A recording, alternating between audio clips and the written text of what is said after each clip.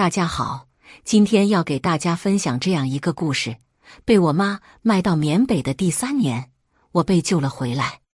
表妹冷嘲热讽：“他们是不是爽完了之后会奖励你吃饱饭？”我妈阴阳怪气：“你也别恨我，谁让表妹缺钱买钢琴呢？”后来他们从缅北醒来时，成了待价而沽的货，经历着和我一样的非人折磨。他们哭着求我救救他们。阴暗的地牢里，我笑了：“傻瓜，我不是回家，是回去进货。我下过地狱，这次轮到你们了。你干什么？你不知道你自己有多脏吗？”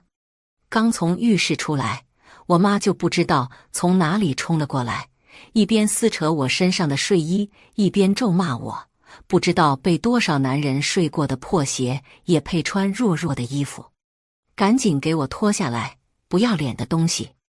我的脸火辣辣的，难堪的恨不得找个地缝钻进去，攥着手指头。是他说送给我的，他说送你就要。我妈扯着大嗓门，龇牙咧嘴着：“若若送你是他心地善良，不嫌弃你，你收他东西就是你不懂事。”你穿着他的衣服招摇过市，让邻居看到误会。若若也和你一样被人睡烂了怎么办？一瞬间，心像是被人用力扯空了一大块，慌张又害怕的情绪像一把锋利的刀子刺向我，将我弯得四分五裂，血肉模糊。不，不是我自愿的，他们他们打我逼我的。妈，我很害怕，我真的好害。害怕怎么不去死？我妈打断我的话，字字剜心。你知不知道你回来后邻居怎么嘲笑我们的？你知不知道你害得若若被人指指点点，说家里有个诈骗犯？我不是诈骗犯，我没有做的。你在那种地方，除了诈骗还能做什么？我死死咬住嘴角，三年至黑至暗的记忆如脱缰的猛兽。向我奔涌而来，浑身颤抖不止。那我为什么会去那种地方？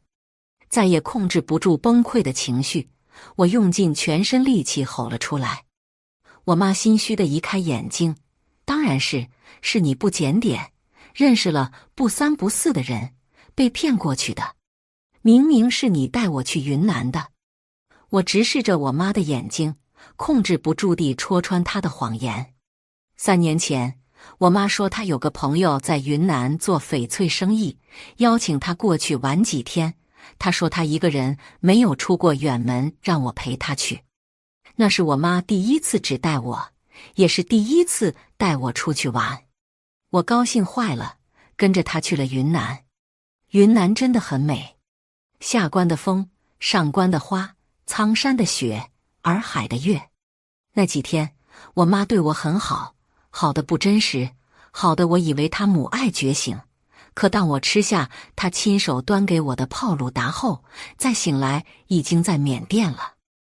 我来不及深思我究竟为什么会到了这里，便遭受了一轮又一轮的折磨，整整三年受尽屈辱，非人折磨，终于在警方的救助下离开了吃人的地方，回了家。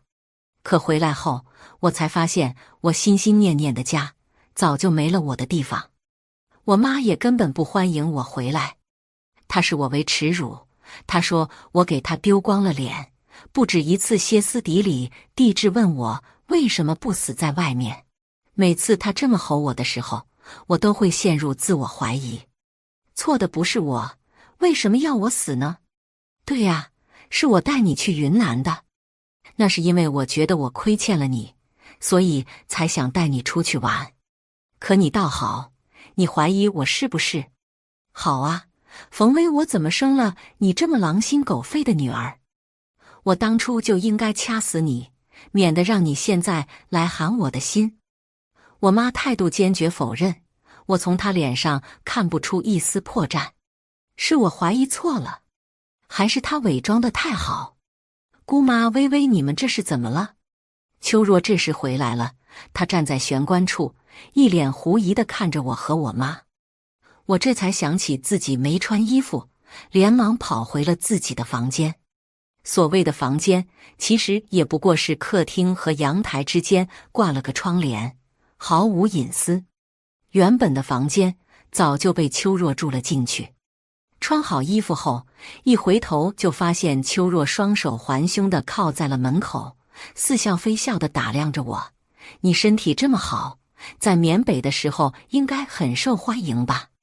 脑袋突然嗡的一下，血液涌上心口。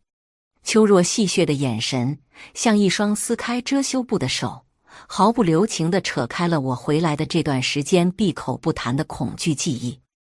他们是不是爽完了之后会给你一些福利，比如让你吃饱饭，或者是给你一个单间？哎呀，你懂得姑姑很疼我，很少让我看些乱七八糟的东西，所以我不是了解你在那边的情况。肩膀上仿佛压了一座大山，让我无法呼吸。我死死盯着秋若，后牙槽都快咬碎了。你还是这么一如既往的恶毒。秋若耸肩一笑，冯威从来不敢这么和我说，所以你是冒充的吧？你什么意思？冒牌货就该赶出去，不是吗？我不知道秋若和我妈说了些什么。她也开始说我是冒充的了。我们家微微是单眼皮的，头发也是天生自来卷。你说实话，你到底是谁？我女儿又去哪里了？妈，你别叫我妈，你不是我女儿。我妈看着我的眼神里充满了陌生和警惕，又明晃晃噙满了毒液。她不爱我，她从来都不爱我。这一刻，我清醒了。彻头彻尾的清醒了。既然如此，那我还犹豫什么？我妈爱秋若是吧？好啊，那就让她最爱的秋若也亲身体验一下，被人玩爽了之后，会不会让她吃饱饭住上单间？毕竟，像秋若这种红唇明眸、善搔首弄姿的女孩，才是缅北最喜欢的货。我有个秘密，一直没告诉我妈。我。根本不是被解救回来的，而是回来进货。哪来的阿猫阿狗也敢冒充我的微微？赶紧自己滚，不然我报警了。我妈看着我的眼神，像看着血海深仇的仇人。我通体冰凉，失望就是这样一点一点累积的。三年，一千多个日日夜夜，我是带着对我妈的恨活下去的。我妈把我的东西都扔出去的时候，被邻居看到。我妈脸不红心不跳的说：“她是骗子，是冒充的。”我可怜的微微已经死在了缅北，回不来了。邻居皱了皱眉，看着我：“这不是和微微长得一模一样吗？是高科技，他整成微微的模样。”邻居像是看穿一切，嗤笑着：“你们家又不是什么豪门。”他整成微微干什么？你该不会是嫌弃微微吧？哪有你这么当妈的？微微能活着回来都是万幸了，你应该多关心关心她的身心健康。是你弟弟闺女又找微微麻烦了吧？你真是偏心偏到肚脐眼了，难怪微微和你不亲。邻居说完便上了楼，我妈被说的面红耳赤。恶狠狠瞪了我一眼，还愣着干什么？要我三叩首请你进门？他冲过来撕扯着我，被调教了这么多年，怎么还一点都不懂事？怎么没让他们打死你？一天天就知道给我添堵。秋若见到我又回来了，吃的冷笑一声，不愧是被调教过的，就是懂得讨好人。我妈见秋若生气了，立马去哄她。若若别生气，气坏了身体，姑妈心疼。好了好了，你看姑妈给你准备了什么？秋若眼睛一亮，爱马仕。是呀，你不是一直想要个爱马仕吗？姑妈早就预定好了，就打算给你一个惊喜呢。秋若喜上眉梢，挑衅般的瞅了我一眼后，接过我妈递给她的爱马仕。爱马仕。随便一出手就是几十万，我妈哪来这么多钱？我偷偷去秋若的房间看过，满柜子的名牌衣服、奢侈品包包有几十个，还有很多没拆封的化妆品。她一个女人带着我和秋若，靠着我爸生前留下的一家超市过活。虽然衣食无忧，可也支撑不了秋若这么挥霍。毕竟三年前，我妈还为给秋若买一架几万块钱的钢琴而发愁。你看什么看？我警告你，你别想太多。我是不可能浪费钱给你买的。二十岁的人了，应该替家里分担重任了。我给你找了个工作，你明天就去。所谓的工作是保姆，给人看小孩的。雇主家两个小孩，是对七岁双胞胎男孩，虎头虎脑，很可爱。小小年纪就社牛的很。一口一个漂亮姐姐叫得我心花怒放。我领着他们在小区里遛弯，他们认识每一个路过邻居，每个都会很认真、很热情的打招呼，甚至会炫耀般的向他们介绍我是他们最最最漂亮的姐姐，更会把幼儿园的零食偷偷藏起来带给我。一开始我很不习惯，总是戒备着、提防着，更是小心翼翼着。生怕做错事情，就会像在缅北的那几年被人殴打。在黑暗里待久了的人，从一开始期待太阳，到后来害怕太阳，奈何两个孩子什么都不懂，一股脑的缠着我。这天，我照例带着两个小家伙在小区里遛弯，太阳很大，照在身上暖乎乎的。我享受此时的安静。却在余光中扫到我妈鬼鬼祟祟的躲在树荫下，顺着她紧盯的视线看过去，发现她盯着的正是肖家两个孩子。我心里咯噔一下，他想要干什么？往后的每一天，我都能发现我妈的身影。她什么都不做，就躲在树荫下。直到某一天，我发现她和两个孩子的爸爸肖哲相谈甚欢，一时间。我好像明白，我妈想要做什么了。肖哲的妻子产后抑郁跳楼自杀后，便一个人抚养两个孩子，直到最近他的公司因为融资上市，才不得已找人照顾孩子。这样优质条件的男人，小区里不少大妈都给他介绍过对象，可他偏偏看上了我，对我展开了热烈的追求，有好几次。他送我回家时都会带一束玫瑰花。秋若每次见了都会阴阳怪气。冯威，你和他接吻的时候会不会想起在缅北被人挨压？我就是随口一说，你不会生气吧？指甲戳进掌心的软肉里，想给他一个大逗逼的怒火在胸腔里熊熊燃烧，但脑子里有个声音一直劝我：冯威，忍住。不要功亏一篑，忍住，忍住，小不忍则乱大谋。不会啊，他很绅士，很温柔，不会强迫我。哦，你还不知道吧？他早就知道我去过缅北了。他说他一点都不介意。他说他会帮我走出阴影，要和我重新开始呢。像肖哲这样的男人，简直是凤毛麟角。我可真幸运，能遇见他。希望你能早日遇到这么好的男人。从秋若身边经过的时候，我明显感觉到了他浑身的颤抖，是被气的。视线落在他不甘的表情上，我勾了勾嘴角。鱼儿啊，他终于上钩了。果不其然，没过多久，肖哲就开始以加班为由疏远我。秋若总是带着各种奢侈品回家，和我炫耀。这套首饰差不多几十万，是我男朋友送的，你喜欢吗？我扫了一眼他后，沉默转身，却被他拦住。我男朋友呀是肖哲，我猛地愣住，回头死死盯着他。秋若越发得意了，我也遇到了凤毛麟角的好男人，你不该高兴吗？高兴，高兴的很。秋若失踪了，半个月前。肖哲和我分手后，带秋若去迪拜旅行了。秋若每天都会发十几条带具体定位的朋友圈，精修的照片，九宫格都摆不下。我妈与有容焉。若若说，等萧哲带她回来之后就结婚。她说萧哲答应她要送一栋别墅给我呢。我果然没白疼他，不像你这么白眼狼。我怎么白眼狼了？这个问题我想问他很久了。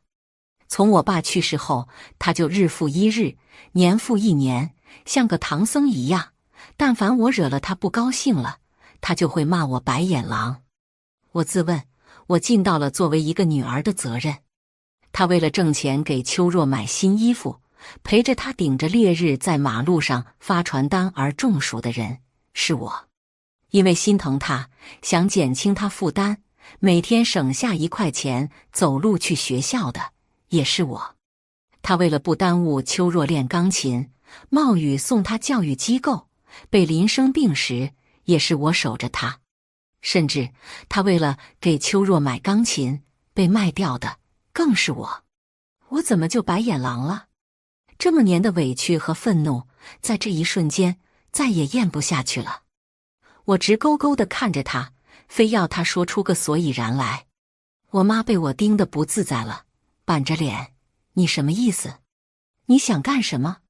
我是你妈，怎么在缅北的这几年没学会什么叫听话？冯威，好好的日子你非要闹腾个什么？为什么你只爱秋若而不爱我？你也配和若若比？他是我弟弟的孩子，他身上流着和我一样的血。你呢？你姓冯，你是外姓人，我凭什么爱你？我又不是傻，好，所有的犹豫在这一刻消失的无影无踪。你的秋若回不来了。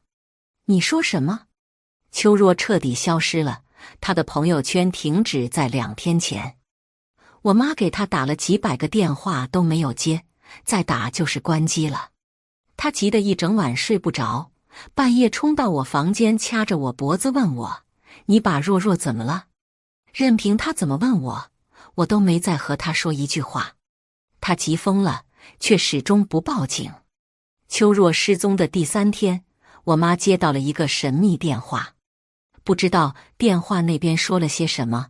我妈脸色瞬间煞白的毫无血色。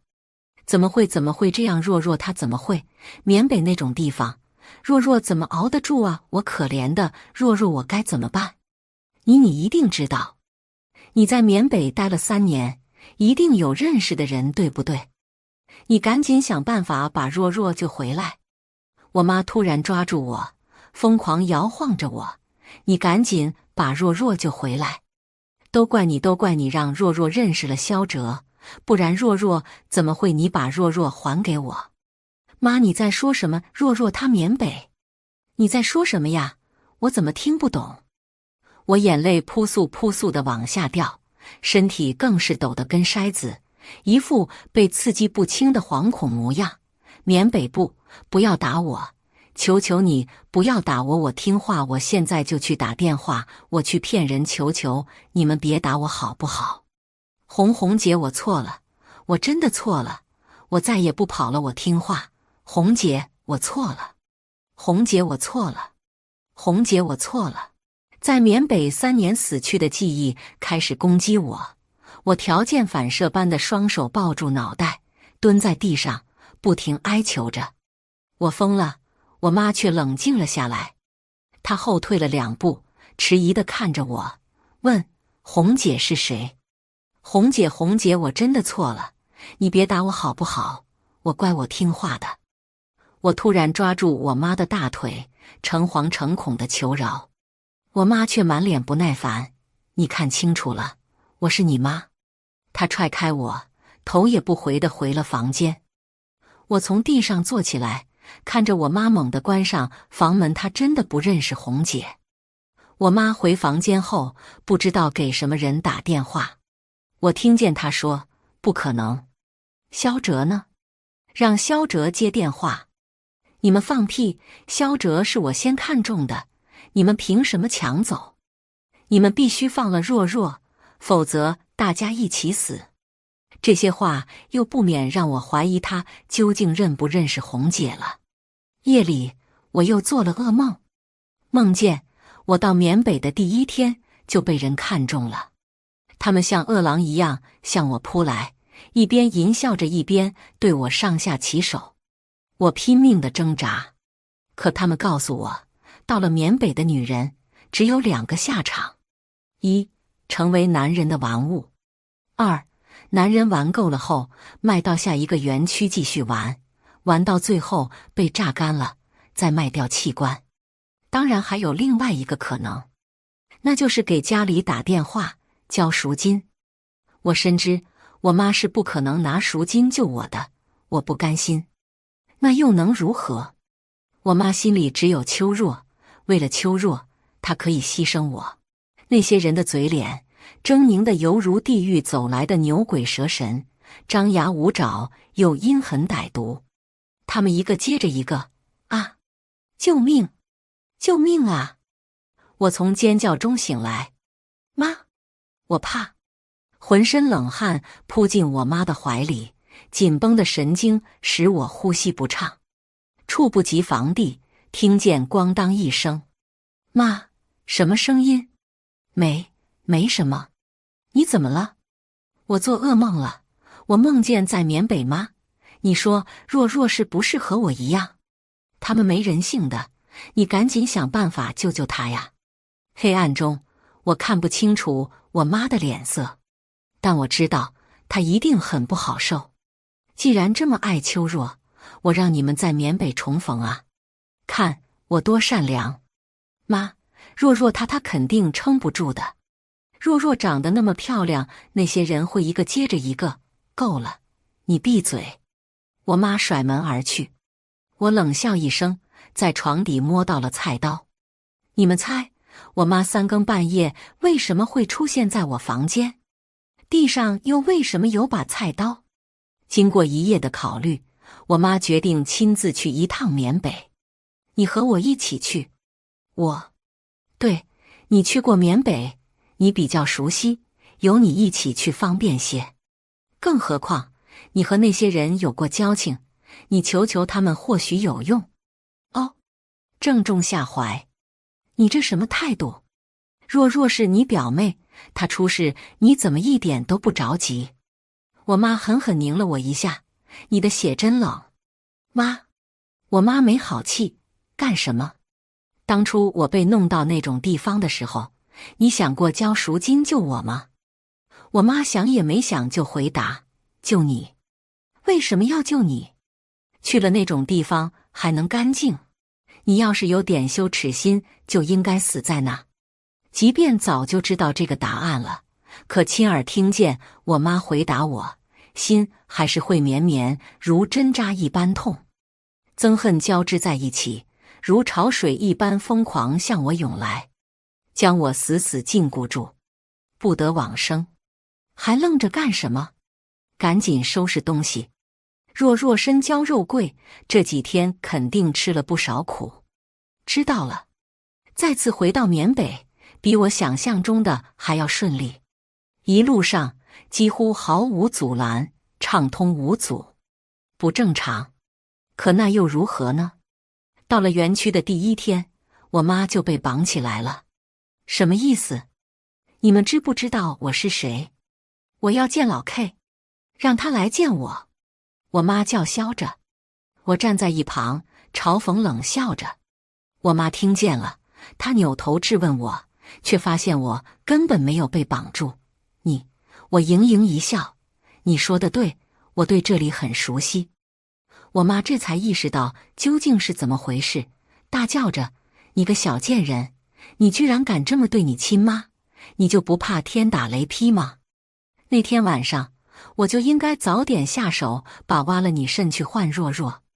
贱人，赶紧放了我，不然我饶不了你。你要怎么饶不了我，红姐？”红姐最近几年活跃在缅北与国内的最大蛇头。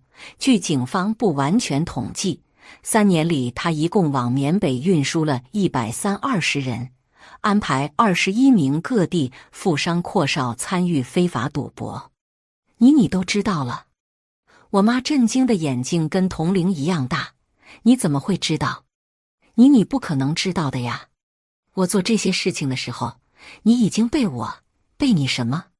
被你卖掉了。曾经恨之入骨，可此刻问出口时，轻舟已过万重山。我妈哑口了几秒，才道：“你也别怪我。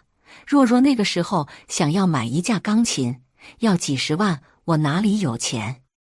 你是她姐姐，你替她分担点有什么问题？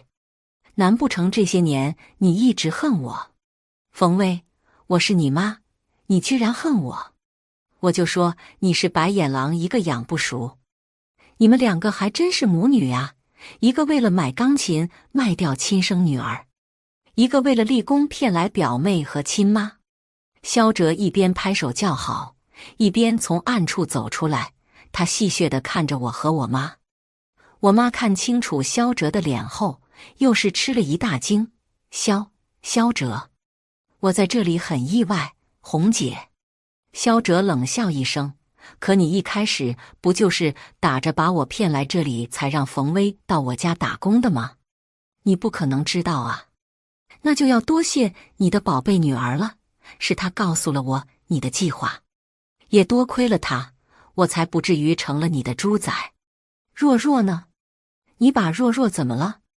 她呀，好像刚被轮过，扔到水牢里了。萧哲笑得冷血，把我推到我妈面前。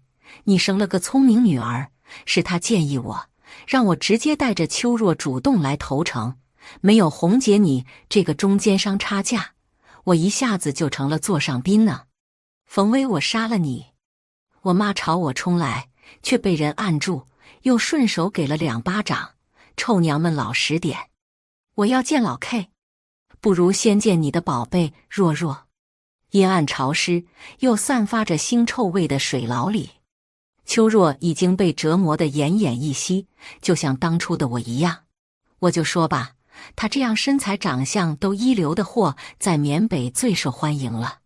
若若若若，秋若从臭水中缓慢抬起了头，见到我妈后欣喜若狂。姑姑，姑姑，我就知道你会来救我的，快点带我离开这个鬼地方，我一秒也待不下去了。随后，他又看见了我。眼底的喜悦肉眼可见，姑姑是你用它来换我的，对不对？姑姑，你太聪明了。我妈紧抿着嘴角，一言不发。她一定心疼坏了吧？姑姑，你还愣着干什么？赶紧带我走啊！你知不知道我这几天都遭了什么罪？姑姑，你你怎么被绑住了？你你是被抓来的？可算是看清楚了。我让人把秋若从水里捞了上来，看着没有一块完好皮肤的秋若，我心里痛快极了。秋若疼得哀嚎了一声，她抬头看看我，又看看姑妈，好像明白了些什么。你是你，她朝着我大叫着。可惜呀，被折磨了几天的她根本没有攻击力。对呀，就是我，惊不惊喜，意不意外？我蹲下来，一股子腥臭味扑面而来。虽然早就习惯了，可还是觉得恶心。不，我是恶心秋若。怎么样？他们玩爽了后，有没有赏你一顿饱饭吃？你不是不了解这边情况吗？我就让亲眼来看一看，满意吗？冯威，恐惧爬上冯威的脸，他撕心裂肺的大吼着。可他吼得越大声。我心里越痛快。从小到大，我吃了他多少暗亏，受了多少委屈，如今是该他还给我的时候了。冯威，你放了秋若！我妈也嘶吼着，她那双眼睛看着我的时候，像极了噙满毒液的毒蛇，非要咬死我不可。秋若，你想离开吗？我没有回应我妈的话，而是问秋若。我笑着告诉她。只要你给杀了最爱你的姑姑，你就能离开。你愿意吗？你敢吗？冯威，你胡说时，我愿意，我敢。不等我妈骂完我，秋若便迫不及待喊了出来。他还生怕我没听清楚，又重复了一遍：“我愿意，我敢。只要你放我走，你让我做什么，我都愿意。”若若，没有什么。比此刻，我妈失望的声音。更加悦耳了。我难得同情的扫了一眼我妈，你的若若还真是孝顺呢。我丢给秋若一把刀子，去吧，让我看看你有多狠。秋若握着刀子，连一秒都没有犹豫，就戳进了我妈的肚子。她一副急于投诚的样子，真丑。她朝我妈冷笑着：“秋敏，你去死吧！这些年我早就受够你了。”我从来没见过你这么恶心的老女人，若若若若你白刀子进红刀子出。我妈满脸不可置信的看着秋若，她不敢相信，她疼爱了一辈子，为之付出了一切的侄女，到头来竟然会这么对她。你知不知道，我每次看到你虐待微微姐，我都气得发狂，恨不得叫来警察把你抓走。微微姐。改口还真快，我冷笑着。他以为我会信他这些话。秋若还想给第二刀时，我拦住了。我拿过刀子，塞进我妈手里，同样告诉她：杀了他，我就放你走。微微姐，你刚刚说过，只要我杀了他，你就放我走的。我冷眸瞥着他，是吗？不好意思，我忘记了。秋若满脸死灰。我妈一手捂着腹部的伤口，一手拿着刀子，她在犹豫，真是可笑。事到如今了，她竟然还犹豫，看来她是真的爱秋若。我懒得再试探些什么了，把他们两个都扔进水牢里吧。我吩咐着身边的人，又问：最近有什么需求吗？漂亮国那边需要一双眼角膜，阿拉伯需要一颗心脏。哦，对了，中非那边需要个人偶娃娃。我嗯了一声，去安排吧。冯威和我妈半截身子泡在腥臭的水中，满脸都是奔赴死亡的苍白。我妈受了伤，泡了脏水，很快就会发炎。这种地方一旦发炎，后果不堪设想。冯威，你已经知道我的身份了，竟然还敢这么对我，你就不怕老 K 收拾你？我妈继续叫嚣着，丝毫没有意识到自己的处境。你说老 K 啊，他这会应该是在逃亡的路上吧？不过没关系，跑不了多远的。我倒是好奇，你凭什么觉得老 K 会为了你而收拾我？来说出来吓唬吓唬我。我盘腿坐在二人面前，难得心情好的欣赏二人的狼狈。我妈听我这么问。立马露出了个得意的笑容。我可是大名鼎鼎的红姐，这些年我为老 K 送了多少人过来？没有我，他能有今天的地位？我可是大功臣，你算个屁！我心颤了颤，又问：你能送多少个？能有我功劳大？肖哲可是搞科技的，他能替老 K 办了你们都办不到的事情。我妈不屑一顾。不就是洗钱？笑话！没我有帮他拉人头骗富商，他有个屁钱！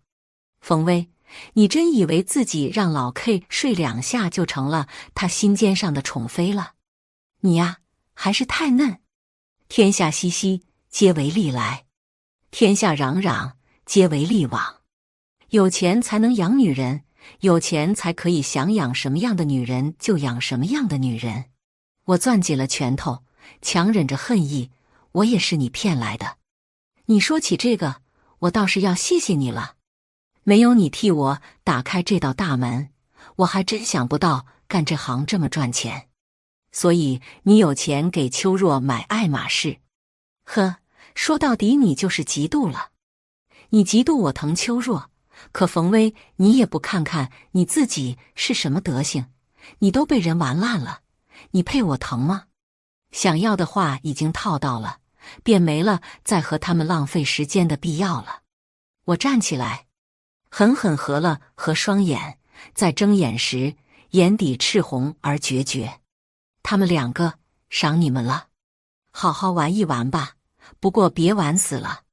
玩够了就送他们上路。身后传来秋若和我妈撕心裂肺的叫喊声，我却头也不回的离开。走到门口的时，突然想起些什么，停了下来。忘记告诉你们了，我不是回家，是回去进货。欢迎你们来到地狱。关门上后，我像是被抽走了浑身力气一般，虚软无力的跌坐在地上。身后是他们两个人哭喊哀求的声音。开心吗？我应该开心的，可为什么一点也不开心呢？萧哲听到二人惨叫声时，先是沉默了一瞬，随后坐在了我旁边，一言不发，直到里面没了声音，我才将录音笔交给他。证据都在这里了，你拿给警察吧。你没事吧？我轻轻摇了摇头。你那边怎么样？萧哲一边扶起我，一边道：“都办妥了，我把老 K 让我洗出去的钱都转到了警方账户，他和他上线的犯罪证据也都移交给警察了，后面的事情就不需要我们操心了。我们回家，星星和月月都在等你回家。家，我没有家了。萧哲，心在哪，哪里就是家。”心在哪，哪里就是家。我难逆重复了一遍萧哲的话。几秒后，我茅塞顿开，我知道我的家在哪里了。肖哲跟随警方一起回国了。回国前，三年前救我出狼窝的宋警官告诉我，这次围剿行动我立了功，再加上我本就是受害者，可以以功遮过。他说。我回去后，他可以帮我重新开始。我拒绝了。宋姐姐，谢谢你当年救赎了我。是你告诉我，女人的清白从不在裙摆下。是你让我有了勇气重返贼窝，让老 K 和红姐绳之以法。三年前，眼前这名叫宋清溪的女警官，不顾生死将我从缅北救了回来。她像一缕春风。滋慰了我狼狈不堪的心灵，拯救了我肮脏破败的肉体。他让我见识了中国警察的温柔与力量，所以我心甘情愿替他们当卧底，义无反顾地返回了贼窝。老 K 很意外，我告诉他我不想回家，我想留在这里挣更多的钱。他自然是怀疑我的，但我用了三个月的时间取得了他的信任。我说。我打算回国，用受害者的身份骗取更多人的同情和信任。他同意了，于是我以被解救的受害者身份回国了，回到了警方怀疑是源源不断为老 K 送人头的红姐身边。为什么是我呢？因为红姐是我妈，没有人比我更合适。我没有辜负你们的信任，我完成任务了。是。你完成的很好，宋姐姐钦佩又心疼的看着我，跟我回去吧，你当我妹妹，以后我就是你的家人。不啦，我有更好的去处，只是我能不能求你一件事情？什么？肖哲他没有把所有钱都转到警方账户，他应该私下扣下了三百二十万。我惋惜道：“这些钱。”是当初他老婆被诈骗走的钱，本来是肖哲卖了房子准备创业的钱，结果都被骗走了。他老婆受不了这个打击，所以跳楼自杀了。所有人都以为他老婆是产后抑郁自杀的，其实不是的，是他悔恨自己被骗走了所有的钱，是他不能原谅自己害得肖哲一无所有。才会在无限的遗憾和无法疏解的痛苦中结束自己的生命。这也是为什么萧哲愿意配合我带邱若来缅北的原因。他想亲自为亡妻报仇。他没有错，错的是吃人血的诈骗犯。我恳求着，能不能网开一面？这件事情瞒不了多久的，警方早晚会查到。